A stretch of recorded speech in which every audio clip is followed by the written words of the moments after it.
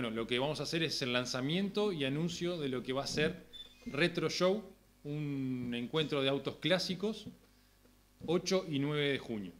Eh, nuestra idea, junto con, con Helmer y, Gonzalo, fue que a partir de un encuentro de autos que, organizamos en diciembre en el balneario, nos, este, quisimos innovar y hacer una, algo diferente.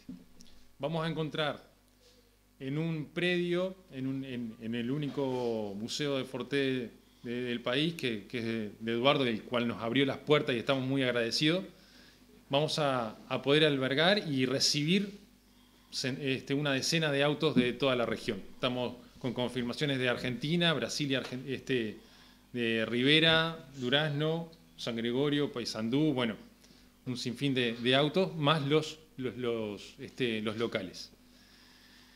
¿Qué más les puedo decir? Eh, Helmer les va a comentar más o menos qué, quiénes asisten, quién viene, viene de afuera y Eduardo les va a, redactar algo sobre, sobre lo que va a ser el marco y de lo que van a poder este, observar el, día del encuentro. Vale un poquito que el, evento se va a realizar acá en el Hotel y Museo Forte City el 8 y 9 de junio, ahora dentro de un mes y poquito.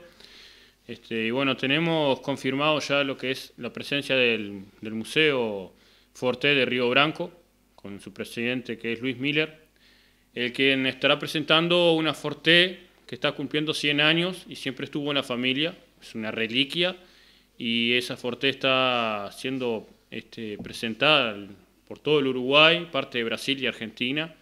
Este, y bueno, tenemos el honor de que, Miller nos confirmó la presencia en cuanto se enteró es un amigo de Eduardo de hace muchos años. Y bueno, también grupos de autos, este, desde Paysandú y Salto, que ya han confirmado su presencia, gente de Argentina que ya ha llamado y, nos ha confirmado, este, gente de Brasil. Y bueno, es un evento que no esperábamos la, la, eh, la presencia de tanta gente, ¿no? Y sin embargo se ha corrido la voz y bueno, vamos a tener gente de todo índole, de todos lados, y eso está buenísimo.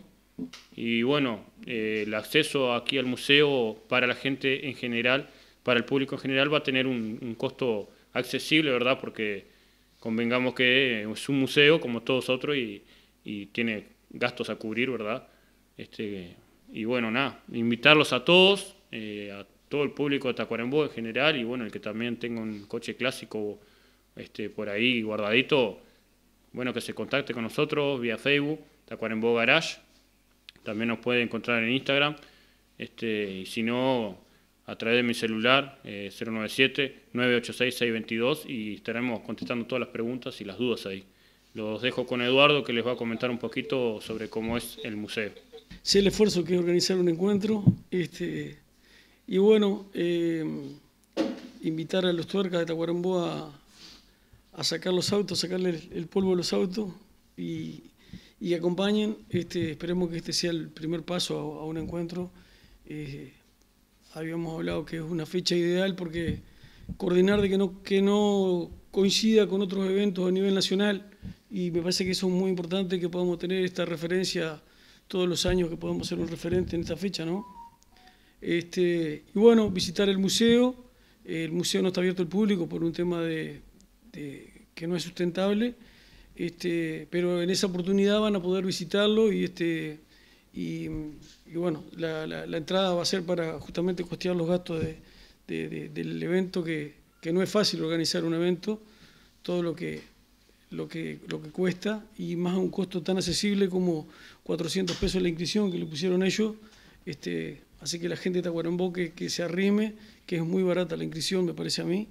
Y, este, y bueno, este, esperarlos y, agradecerle que apoyen. Este, va a haber un tour a, a Valledén y al centro, al Teatro Escayola, que la gente se arrime a las calles, ya va a estar informada y que nos acompañe porque sabemos que cuando pasa un auto clásico eh, queda atrapado un niño, este, un anciano que le trae toda esa nostalgia que, se me pone la piel de gallina cuando, cuando digo eso, pero pasa todas esas cosas, esos recuerdos, y bueno, está interesante que nosotros podamos compartir todo eso con, con la ciudad de Tacuarembó.